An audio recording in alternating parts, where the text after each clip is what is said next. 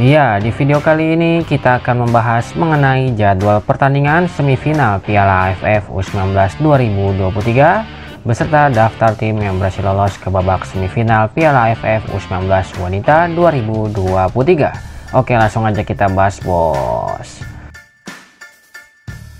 Berikut hasil lengkap Piala AFF U19 2023. Dari pertandingan Piala AFF U19 2023 sebelumnya, Timnas Laos berhasil menang dengan skor akhir 5-0 atas Timnas Timur Leste. Di laga lainnya, Timnas Indonesia berhasil menang dengan skor akhir 5-0 atas Timnas Kamboja. Di laga selanjutnya, Timnas Vietnam berhasil menang dengan skor akhir 6-0 atas Timnas Malaysia. Dan di laga lainnya, Timnas Thailand berhasil menang dengan skor akhir 1-0 atas Timnas Myanmar.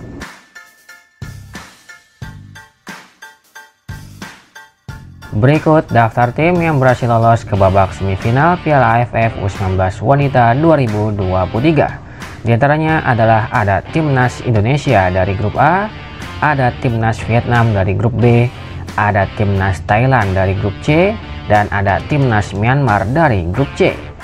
Sedangkan yang dipastikan tidak lolos ada Timnas Kamboja dari grup A, ada Timnas Laos dari grup A, ada Timnas Timur Leste dari grup A, lalu ada timnas Malaysia dari grup B, ada timnas Singapura dari grup B, dan ada timnas Filipina dari grup C.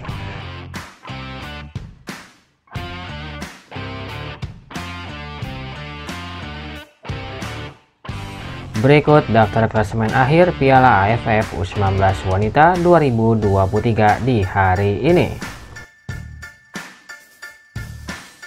Untuk grup A di peringkat pertama ada Timnas Indonesia dengan torehan 9 poin. Di peringkat kedua ada Timnas Kamboja dengan torehan 6 poin. Di peringkat ketiga ada Timnas Laos dengan torehan 3 poin. Dan di peringkat keempat ada Timnas Timor Leste dengan torehan 0 poin. Selanjutnya untuk grup B di peringkat pertama ada Timnas Vietnam dengan torehan 6 poin. Di peringkat kedua ada Timnas Malaysia dengan torehan 3 poin. Dan di peringkat ketiga ada Timnas Singapura dengan torehan 0 poin. Dan yang terakhir untuk grup C di peringkat pertama ada Timnas Thailand dengan torehan 6 poin. Di peringkat kedua ada Timnas Myanmar dengan torehan 3 poin. Dan di peringkat ketiga ada Timnas Filipina dengan torehan 0 poin.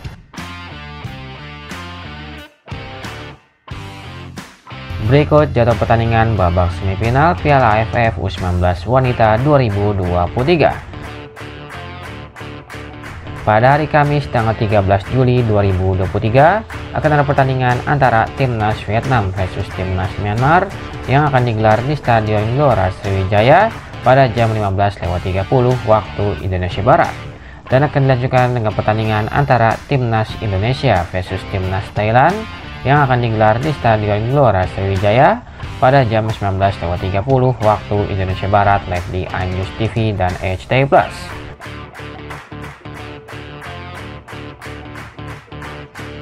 Berikut daftar top skor sementara Piala AFF U19 Wanita 2023 di hari ini. Di peringkat pertama ada Claudia dari Timnas Indonesia dengan torehan 4 gol dan di peringkat kedua ada Ayunda Anggraini dari Timnas Indonesia dengan torehan 4 gol.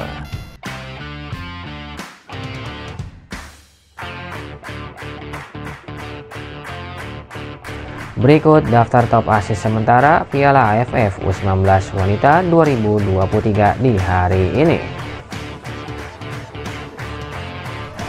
Di peringkat pertama ada Ayunda Anggraini dari Timnas Indonesia dengan torehan 2 asis dan di peringkat kedua ada Claudia dari Timnas Indonesia dengan torehan 2 asis.